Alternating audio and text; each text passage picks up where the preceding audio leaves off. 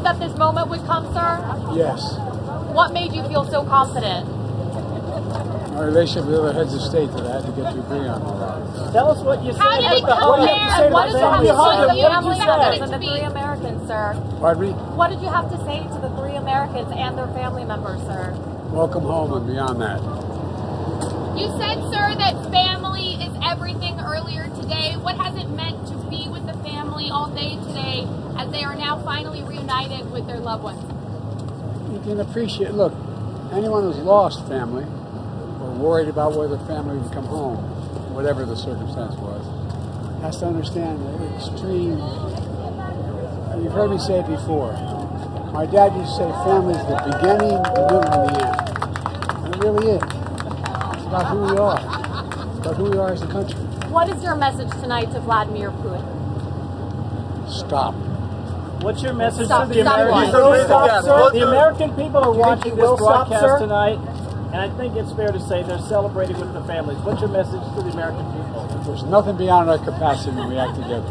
Nothing, nothing, nothing. Remember who the hell we are. We're the United States of America. The United States of America. We put back together relationships with countries that we haven't had before. We rebuilt NATO. We rebuilt the circumstances that allowed this to happen. That's why it happens. And Mr. President, should American journalists ever feel afraid about reporting abroad?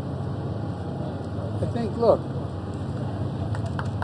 no matter where you are, there's certain places that you're going to be afraid. I mean, on, on, on the idea you're never going to be afraid, you'd never show up anywhere in, in the Middle East, you wouldn't show up anywhere in Russia, you wouldn't show up anywhere. It matters. It matters to be aware of what you're going into and not to take undue chances because it's going to, because I'm going to come get you. Of your many Mr. achievements, President, where does this rank among your many achievements as president? Well, look, this is to me. This is about the essence of who we are as a country. It really is about personal relationships. It's about family. It's about being able to have access to your own, the people you love and you adore. Imagine how you'd all feel if you had you were being held captive unfairly and you had children waiting home for you. Imagine how you feel. How many of you have children? Raise your hand. Yeah. Okay. Imagine being sitting in prison, not knowing you'll ever get home, and wondering what's going on with your children. How they go to bed at night crying. How they ache every night, every day, and die. It matters. Mr. President, we understand that very important call that you. Mr. President, what do you Prime to Minister of ask Putin? Slovenia came President. hours before you announced that you were going to be uh, leaving the 2024 race. Can you talk to us a little bit about uh, how important it was for you to get this deal done, uh, knowing that you were not going to seek a second term? Was it very important? I still get it done even if I was seeking a second term. I'm not. I'm still. You're stuck with me as president for a while, kid. There's no way out. Okay. You got me for at least another 100 or 90 days or so. So it, it had- didn't have anything to do with that.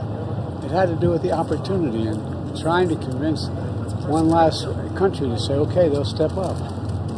And look, And Mr. President, critical- how critical- this will now be cemented as a part of your one-term uh, legacy. How are you thinking about the rest of your time in office? How are you? oh, we can talk about that another day. President, what's your message to other Americans in prison How abroad? critical is President Chancellor Scholz's commitment to getting this deal across the finish line? Could it have been possible without that agreement No. that he made? Mr. President, Madam Vice President, Madam Vice President, Madam Vice President, your reaction tonight. The very good night. It's a very good night, and it's testament to the work that we prioritize under Joe Biden's leadership in our administration, which is the importance of building alliances, building the strength that we have through diplomacy to have outcomes like this. And there's so much at stake right now in our country and in this upcoming election, including who has which approach to understanding America's strength. This is an example of the strength of American leadership in bringing nations together to deliver American What do you want to ask values to their Mr. families. President? And I wonder whether you have a message for somebody like Marc Fogel that